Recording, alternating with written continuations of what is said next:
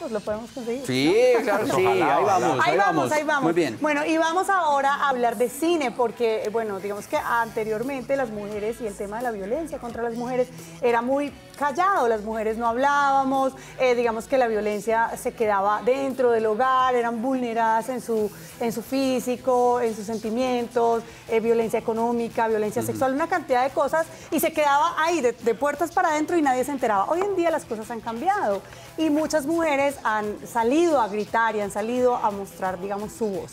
Eh, y hay muchas películas que tienen que ver con esto, con las mujeres vulneradas. Así que vámonos con Leonardo Sotelo y General y Preferencia. Benim 23 sene.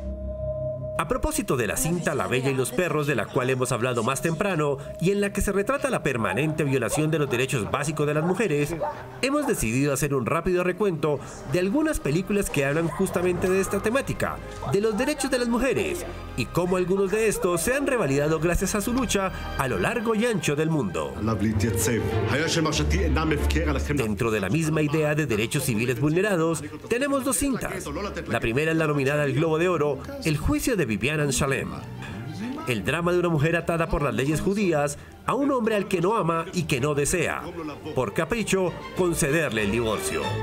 Una cruel radiografía de las leyes de esta nación, estelarizada y dirigida por la recientemente fallecida Ronnie del Cabest. Y otra, cortadita por la misma tijera, es Naid, el drama de una mujer abnegada y trabajadora que se ha divorciado de su esposo, un joven libertino que solo piensa en el dinero fácil y el licor. Pero sobre esta mujer pesa una condición tajante. Si ella entabla una relación con otro hombre, perderá a su hijo para siempre. Pero estos no son los únicos derechos afectados. Si se trata de libertad educativa, podemos citar ejemplos como La sonrisa de Mona Lisa, un drama norteamericano protagonizado por Julia Roberts, Kirsten Dunst y Julia Stiles. ¿Y qué tal les parece Las mujeres de verdad tienen curvas?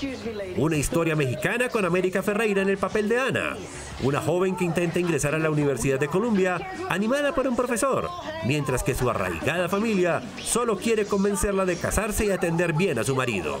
Lo has dicho, pero lo piensas, que soy gilipollas. Es eso. Pasemos a relaciones destructivas y allí encontraremos ejemplos como Te doy mis ojos, del director catalán Isiair Bolain, que nos retrata el matrimonio de Pilar y Antonio, donde este último maltrata y minimiza a su pareja ante la increíble mirada complaciente de la madre de la mujer y con un marco social que se complace en mirar cómo se impone el patriarcado. Aquí pasamos a la cuota nacional con La mujer del animal del director Víctor Gaviria, donde conocemos a un truán de la peor calaña que esclaviza a una joven, casi niña, por el mero placer sexual de poseerla bajo amenazas y violencia. El derecho al voto también ha sido retratado por el séptimo arte, y basta mirar un ejemplo más bien reciente con Las sufragistas, una historia instalada en el Reino Unido en 1912, donde un grupo de mujeres lucha vehementemente por el derecho a elegir y ser elegidas, mientras que las estructuras de autoridad policial, religiosa, política e incluso de familia conspiran en pos de apagar esa horda creciente. Cerramos con films que tienen todo que ver con el derecho al trabajo.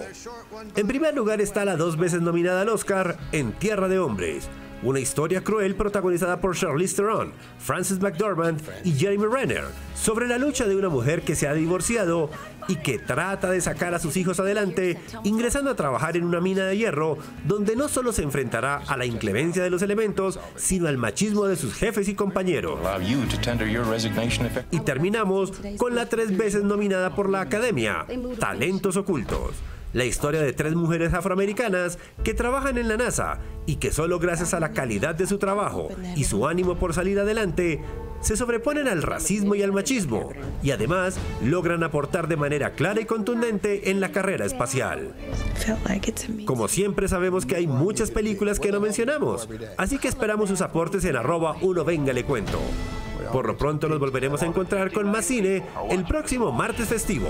Hasta entonces. Let's get the girls to check the numbers. My gals are ready. We can do Claro que faltan un montón, faltan un montón. La Mujer Maravilla, por ejemplo. La Mujer Maravilla que también reivindica los pues, valores y, Y los derechos de las derechos mujeres. Escríbale entonces a Leonardo Sotelo ahí en Uno. Venga, le cuento. Juana de Arco le va a escribir. Bueno, hay, también. much- hay muchas películas Las realmente, hay muchísimas películas de mujeres que se sobreponen eh, pues a sus dificultades y a todo lo que les ha pasado y a la violencia, digamos, en